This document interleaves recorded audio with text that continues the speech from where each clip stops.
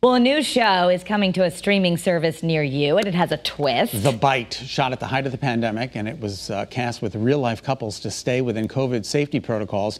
Joining us now to chat about it is one of the stars, Steven Pasquale.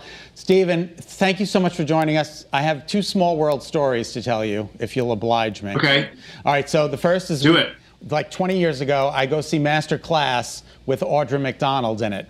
And this was before Audra McDonald was Audra McDonald, even though she was always Audra McDonald.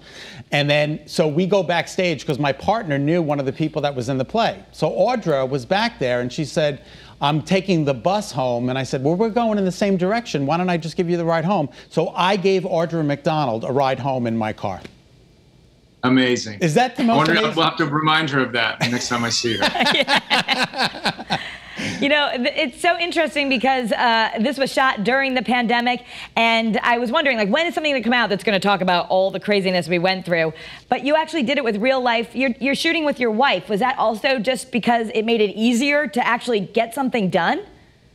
Yeah, I think one of the goals of the the, king, the brilliant kings, Robin and Michelle King, had in creating the show was uh, uh, try, to try to make something where no one was really going to be exposed to anyone else. Uh-huh. So we used uh, Audra McDonald and I play husband and wife, but each of us are having an affair with our real life partners. Uh-huh. So that's how we got around. That's how we got around, uh, you know, having to be exposed really to anyone.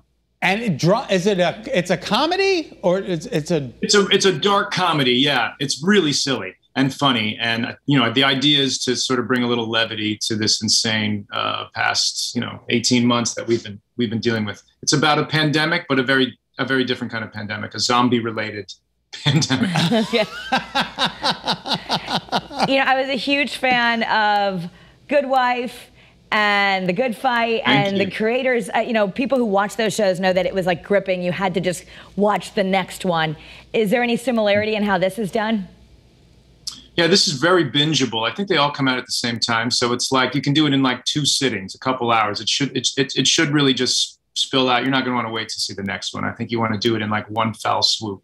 okay I, I, I have another. Uh, we were talking about you at dinner last night because I was telling everybody we were going to talk to you, and my former partner, Uh-huh. he said that you know, my former partner never cried. We were together for 20 years. I never saw him cry, but he went to the Bridges of Madison County and saw you as the lead, and he said at Uh-huh. the end he cried because your performance was so incredible. So Oh, that's nice. That's nice. Yeah, he- well, good. He got his money's worth. I'm thrilled. yeah so for this new show the bite uh, Yes. how do people watch it On Spectrum Originals, um, and you can binge all six. I think starting starting a few days ago, Friday. So um, uh, yeah, you can binge them all at one time on Spectrum Originals. All right, and uh, we. Uh, I just have to ask you. You're doing you're doing screen right now, but you've done so much Right. stage. What what's your Right. preference? Do you have a love more one more than the other?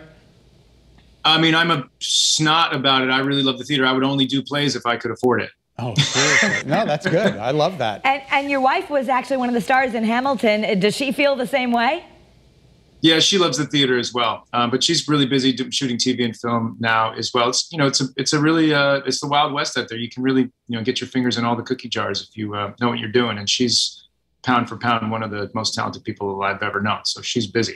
oh God, so nice both- of you to say about your wife Yeah, you're both busy, and I know It's you. the played- truth. Not I know you played Chris. it's not in- nice. It's the truth. Yeah, that's that is. God bless her. I know you played Chris in Miss Saigon. What was that like? Whoa, taking me back, man. 1997. Yeah. Uh, it was my first really good big job. I'd never studied acting or singing, so I really learned. I learned how to be a professional actor and singer on that job. I did Miss Saigon like 1,200 times. Oh my God. oh my god So when I was and I was a 19 year old kid, so I really learned so much uh, doing that experience. I'm going to throw out a name, and you're going to say, I don't know that person, but I'm going to give it a shot. I think he was the. I don't know that person. Bob. All right, go ahead. Bob Avian.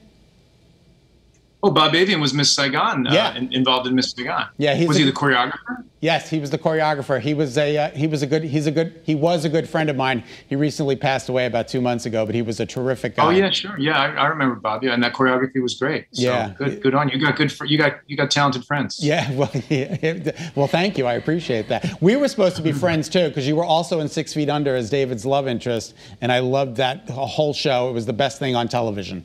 So you've been in Oh, everything. that's cool. That was my first job. That was my first ever job. My first ever on camera job. So they, they took good care of me over there. I You're had no idea what I was doing. That was your first on-camera job. I'm so impressed. That's all. Yeah. Oh, thanks, man. Thanks. Yeah, those guys are really job, smart. yeah. That was a great show. Okay, so we're gonna watch the bite. We can binge it, and it, this is also going to be very good. And you're going to be and you're terrific in it.